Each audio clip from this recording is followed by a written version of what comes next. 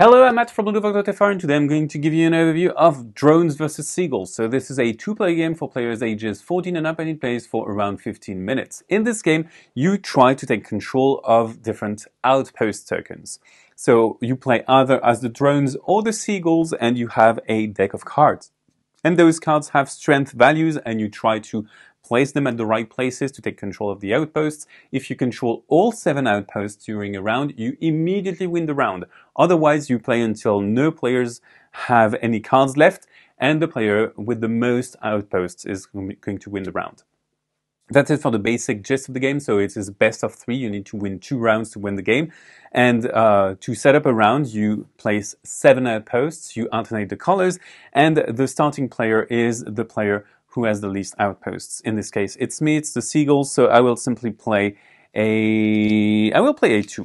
And I will play a 2 here.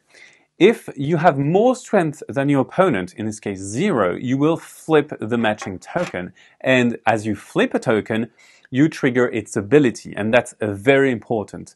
In this case, this ability is a static ability, uh, so it allows me to win ties and win by not exceeding the strength of my opponent. So it is passive, but the other ones are not passive, they are not static, they are immediate. My opponent has to play, and they will play a 1 here, and they flip this, and they can play again, they go again. So now they play a 3 here, it's stronger than my 2, so they take that ability back for them. That's a good idea, that's a good point, and I will also play again by taking control of that outpost with my 3, and my new turn will be placing a 4 here. I will take this and that allows me to remove one red card. So I will remove this and this frees up this outpost for me. My opponent goes again, so they play this, they take control of this, so they move this. So they consolidate this, uh, that frees up the go again chip, and now they consolidated this majority. Now it's my turn because they didn't create any combos.